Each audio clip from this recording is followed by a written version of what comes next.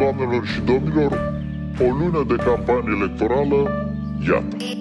Din punctul meu de vedere, e important E important să avem o discuție Pe niște principii, pe niște valori Pe niște teme și apoi cetățenii să decidă Am mai spus-o public că nu o să candidez Dacă asta nu mă împiedică să am păreri, puncte de vedere Despre cum ar trebui, cum, cum, cum ar trebui continuate lucrurile Este important să nu minți Să nu folosești date false Este important să nu minți inducând în eroare instituții publice. Formarea guvernului este un concurs de frumusețe. O poziție de ministru nu este o recompensă. Ai autoritate, știi domeniul respectiv. România și-a îndeplinit toate condițiile